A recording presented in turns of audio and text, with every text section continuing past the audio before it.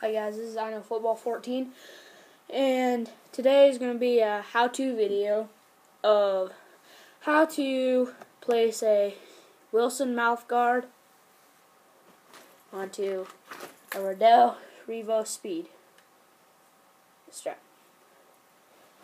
Alright, so the first thing you do is take your mouth guard and you're just going to bring it underneath here like so. Just like that, get it inside. Then,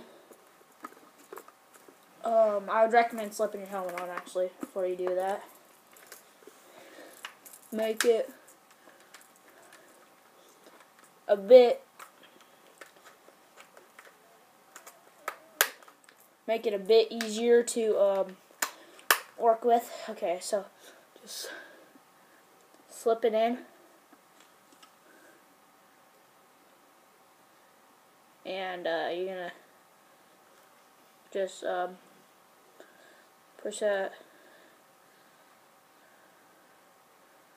And there's a little strap right there.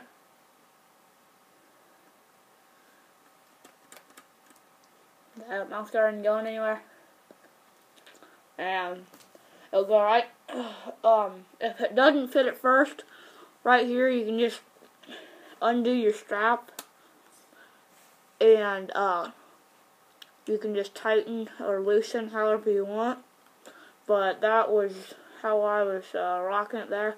So that was um, fitting good. Um, there you go. I mean, give it a couple tugs and make sure um, make sure it's fastened to your face mask tight enough, or however you want it.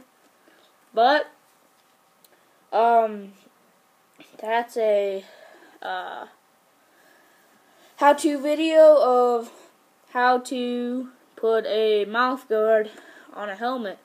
Hope you guys enjoyed this. Hope this helps you any. This, uh, kind of simple video, but I figured I'd put it on there just for the heck of it.